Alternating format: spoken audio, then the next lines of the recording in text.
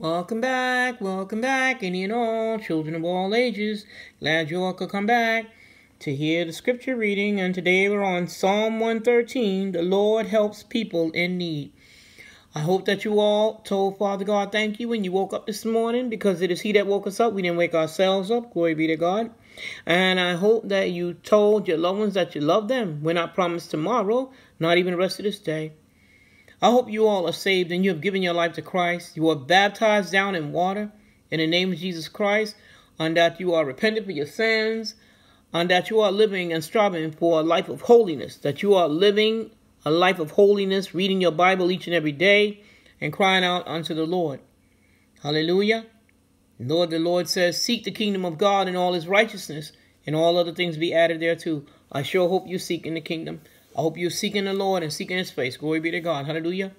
And striving for holiness, living and trying to live Christ-like. Hallelujah. Had the mind of Christ. I love you all to love the Lord and Father. God loves you more. And um, today we're on Psalm 113, the Lord helps people in need. But before we do that, we'll say a prayer for the children of all ages. Hallelujah. Hallelujah. Father God, we come to you today to say thank you. Thank you, my Father. Thank you, Father God, that you woke us up this morning. Thank you, Father God, that you kept us throughout the weekend. Thank you, Father God, that you love us, you protect us, you provide for us, you give us parents to love us and train us up by the word of God. And Lord God, you teach us to love all and to treat others the way we want to be treated. And also, Lord God, we thank you because you are our Heavenly Father. Hallelujah. We love you, Lord, like no other. It's in Jesus' mighty name we pray. Amen. Amen indeed. Amen. Amen. Hallelujah. Hallelujah.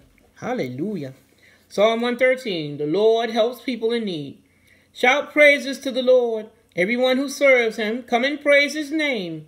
Let the name of the Lord be praised now and forever. From dawn until sunset, the name of the Lord deserves to be praised.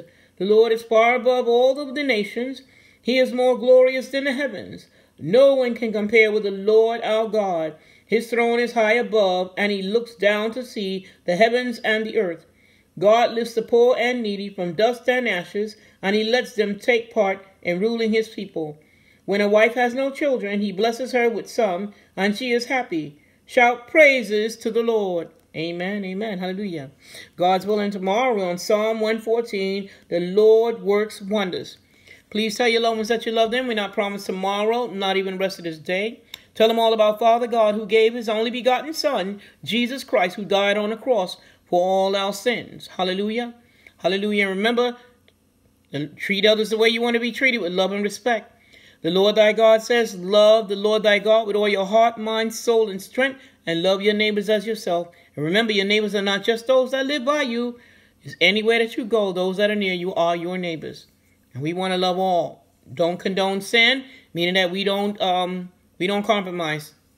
We don't deal with people when they deal when they know that they're getting in trouble in that. You don't be a part of that. Don't you partake of that. Because you will you will also join in their punishment if you do that. Hallelujah. Hallelujah. I love you all to the love of the Lord, and Father God loves you more. You all have yourself a beautiful, blessed day, children of all ages, from youngest to oldest alike. Hallelujah. We love you all, and Father God loves you more. God bless you. Bye-bye.